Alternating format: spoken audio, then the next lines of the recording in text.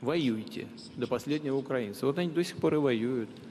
А чего? И мне иногда складывается впечатление, что те, кто руководят Украиной, как будто они вообще инопланетяне какие-то, либо иностранцы. Ну, собственно говоря, не, не, не думают просто. Нет, я серьезно говорю, вы понимаете, ну такие потери колоссальные. Что они дальше будут делать, я даже не понимаю. Нужно сейчас опять понижать, понижать призывной возраст, там, чтобы детей набирать, как в Германии фашисты, Гитлер Юганд создавать. Но это не решит проблему. Противник ослабил себя.